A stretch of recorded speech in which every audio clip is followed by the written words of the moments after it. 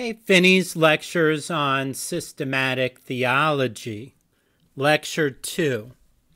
Even though I don't think this is quite the modern definition of systematic theology.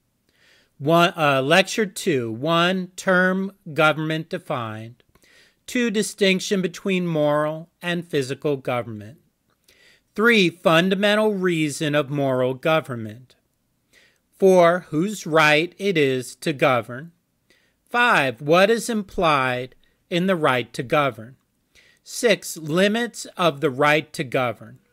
Seven, what is implied in moral government. Eight, moral obligation defined. Nine, conditions of moral obligation. One, define the term government. The primary idea of government is that of direction, guidance, control, by or in accordance with rule or law.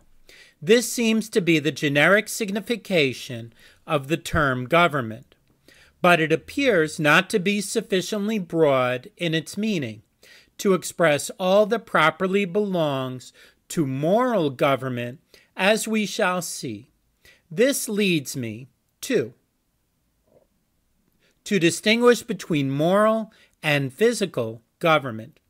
All government, as we shall see, is and must be either moral or physical. That is, all guidance and control must be exercised in accordance with either moral or physical law. For there can be no laws that are not either moral or physical. Physical government is control exercised by a law of necessity or force, as distinguished from the law of free will or liberty. It is the control of substance as opposed to free will. The only government of which substance, as distinguished from free will, is capable, is and must be physical. This is true whether the substance be material or immaterial, whether matter or mind, states and changes, whether of matter or mind, that do not consist in the actions of free will, must be subject to the law of necessity. In no other way can they be accounted for. They must therefore belong to the department of physical government. Physical government, then, is the administration of physical law, or the law of force. Thus, the states and changes of our intellect and sensibility come under the department of physical government. These states and changes are affected by a law of necessity as opposed to the law of liberty or free will. The intellect and sensibility as we shall abundantly see hereafter, are so correlated to the will that its free actions produce certain changes in them by a law of force or necessity. Thoughts and feelings are not strictly moral actions, for the reason that they are not voluntary and must therefore belong to department of physical as opposed to moral government. There is a secondary sense in which thoughts and feelings, as also outward actions, may be regarded as belonging to the department of moral government, and consequently as possessing moral character. As thoughts, feelings, and outward actions are connected with and result from free actions of the will by a law of necessity. A moral agent must be responsible for them in a certain sense. But in such cases, the character of the agent belongs strictly to the intention that caused them, and not to those involuntary and necessary states and actions themselves. They cannot strictly come under the category of moral actions, as we shall more fully see hereafter, for the reason that being the result of a law of necessity, they do not, cannot, with strict propriety, be said to belong to the department of moral government. Moral government consists in the declaration and administration of moral law.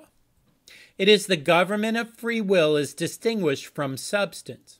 Physical government presides over and controls physical states and changes of substance or constitution, and all involuntary states and changes. Moral government presides over and controls or seeks to control the actions of free will.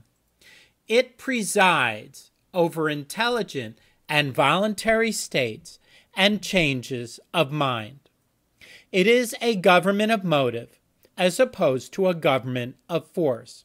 Control exercised or sought to be exercised in accordance with the law of liberty, as opposed to the law of necessity. It is the administration of moral as opposed to physical law. Moral government includes the dispensation of rewards and punishments.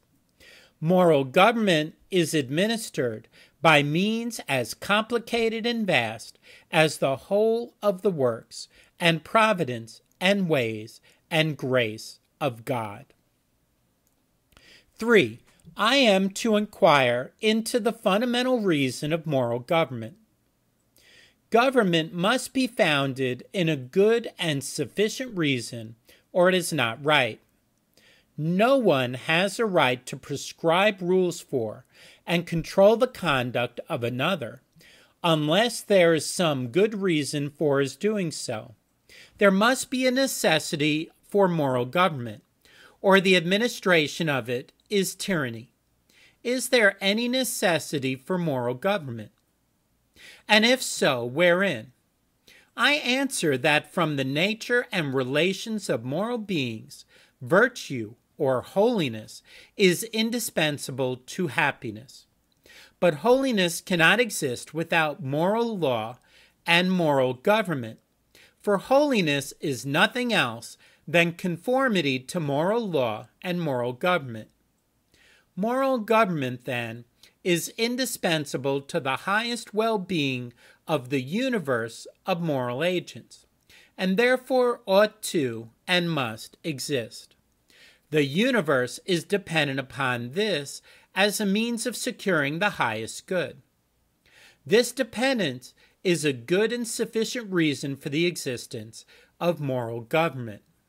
Let it be understood, then, that moral government is a necessity of moral beings, and therefore, therefore right. When it is said that the right to govern is founded in the relation of dependence, it is not, or ought not to be intended, that this relation itself confers the right to govern, irrespective of the necessity of government. The mere fact that one being is dependent on another does not confer on one the right to govern, and impose upon the other obligation to obey, unless the dependent one needs to be governed, and consequently that the one upon whom the other is dependent cannot fulfill to him the duties of benevolence without governing or controlling him. The right to govern implies the duty to govern obligation, and consequently the right to govern, implies that government is a condition of fulfilling to the dependent party the duties of benevolence. Strictly speaking, the right to govern is founded in the intrinsic value of the interest to be secured by government, and the right is conditioned upon the necessity of government as a means to secure those interests. I will briefly sum up the argument under this head as follows 1. It is impossible that government should not exist. 2. Everything must be governed by laws suited to its nature. 3. Matter must be governed by physical laws. 4. The free actions of will must be governed by motives, and moral agents must be governed by moral considerations. 5. we are conscious of moral agency and can be governed only by a moral government. 6. Our nature and circumstances demand that we should be under a moral government because subsection 1 moral happiness depends upon moral order. Subcomment 2 Moral order depends upon the harmonious action of all our powers as individuals and members of society. Subcomment 3 No community can perfectly harmonize in all their views and feelings without perfect knowledge, or, to say the least, the same degree of knowledge on all subjects on which they are called to act. 4 but no community ever existed or will exist in which every individual possesses exactly the same amount of knowledge and where the members are, therefore, entirely agreed in all their thoughts, views, and opinions. Sub subcomment 5. But if they are not agreed in opinion, or have not exactly the same amount of knowledge, they will not in everything harmonize as it respects their courses of conduct. Subcomment 6. There must therefore be in every community some standard or rule of duty to which all the subjects of the community are to conform themselves. Subcomment 7.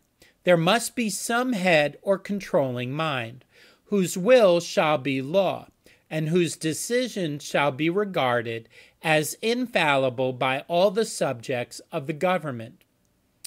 8. However diverse their intellectual attainments are, in this they must all agree that the will of the lawgiver is right and universally the rule of duty. 9. This will must be authoritative and not merely advisory. 10. There must of necessity be a penalty attached to and incurred by every act of disobedience to this will. 11. If disobedience be persisted in, exclusion from the privileges of the government is the lowest penalty that can consistently be inflicted. And 12. The good, then, of the universe imperiously requires that there should be a moral governor. All right, Lord willing, we will continue with uh, Roman numeral four, whose right, it is to govern, next week. Thank you.